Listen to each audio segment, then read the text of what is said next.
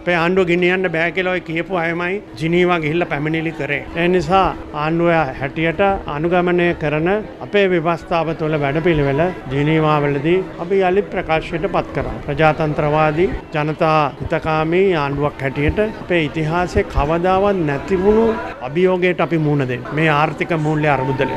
අර්බුදයෙන් ජයගන්න පුළුවන් විශ්වාසය ජාත්‍යන්තරය අපිට ලබා දීලා තියෙනවා. බොහෝ අය කිව්වා ලැබෙන කන්න තම සතයක්වත් මූල්‍ය අරමුදල අපිත් එක්ක කතා කරන එකක්වත් නැහැ කියලා. ජාත්‍යන්තර මූල්‍ය අරමුදල තීරණය ගැනීමට අධ්‍යක්ෂක මණ්ඩලයට ඉදිරිපත් කිරීමට නියමිතයි ඉදිරි සති කීපය තුල. රටවල් බොහොමයක් මේ දැනට මුණ දෙන අර්බුදය හරහා ගමන් කරන්න ශ්‍රී ලංකාවට අවශ්‍ය සහයෝගය ලබා දෙමින් තිබෙනවා. ඒ නිසා ජිනීවාවෙන් අපි සියලු වැඩ නවතී කියලා බොහෝ අය දකින අසත්තුටුදායක ප්‍රාර්ථනාව මා හිතන්නේ ඒ ආකාරයෙන් සාර්ථක වෙයි කියලා.